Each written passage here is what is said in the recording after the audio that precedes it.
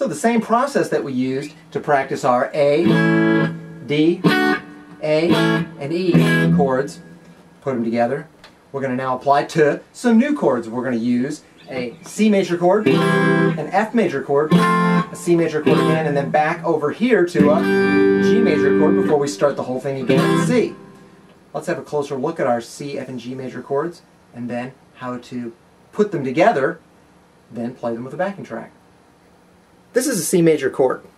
You want to take your index finger and put it right here on the C, the first fret of the B string.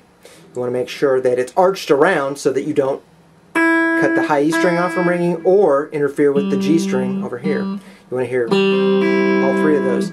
The G string's open, the E string's open, the B string is C at the first fret. Then you want to reach your middle finger over here to the second fret of the D string, no D. Again, making sure that you don't cut the G string in between them from ringing open. Then reach your ring finger over here on the third fret of the A string. Now, all three of them are arched enough so that they're not interfering with any of the strings around them. You want to start here at the A string, this note C, and strum all the way across, and that is your